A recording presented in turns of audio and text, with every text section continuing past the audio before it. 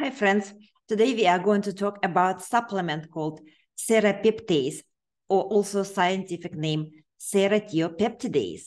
The supplement is usually used for benign airway stenosis, tracheal, laryngeal, vocal cord stenosis, and scarring, subglottic stenosis in people who has past medical history of surgeries and they were intubated due to surgery, so damage was created people who have long-standing uh, acid reflux. Although I have to say that I look I, I look deep and wide, and there is no exactly scientific literature that connects long-standing acid reflux with airway stenosis. Athletes who used to inhale forcefully and may have a scarring uh, uh, of vocal cords. Uh, singers who use and overuse their vocal cords uh, people who have allergies, and also there is idiopathic air idiopathic airway stenosis means that we do not know what that actually cause is. Idea of using um, enzymes for the airway stenosis in uh, my uh, in the, in my clients came to me because in my uh, medical practice I used to use enzymes and I use pancreatic enzymes internally and topically treat people who had um, uh, big scars and then created a lot of pain and discomfort. So I use enzymes, but a person, my, my um, client came with the idea of using serrapeptase. Because I did not have enough experience, she asked me to do a research on this topic. And this is the result of the research. So we do not know what the effective dose is, meaning that once when you take a supplement, um, at which dose people will have bio- biological response. We do not know effective dose of 50, meaning that when uh, people take supplement, 50% of these people will have biological response.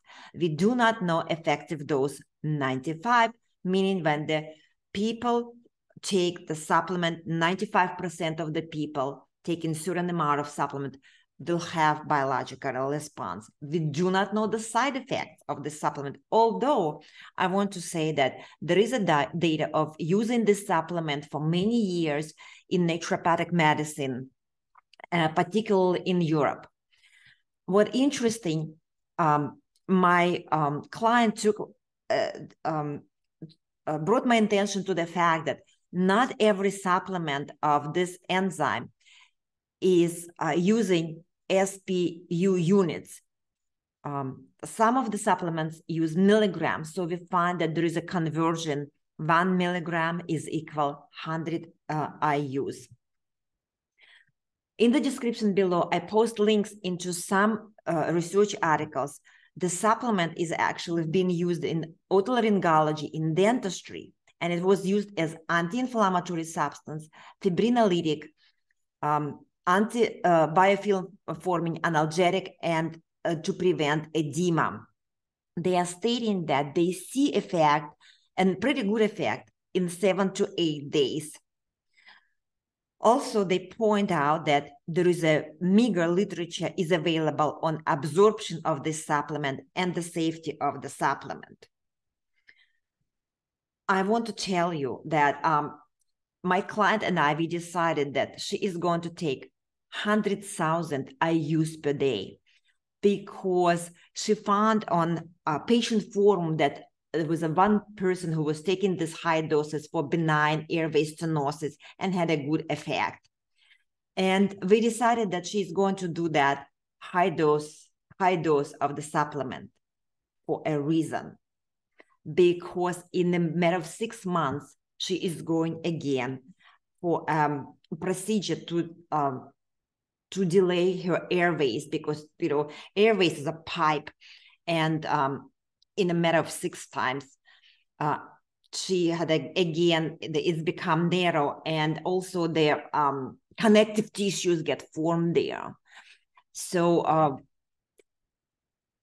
she said you know this is not the way of uh, to live my life to go for this procedure every six months so we decided that she's going to take high dose 100000 ius per day and um, the answer is basically desperate times calls for desperate measures.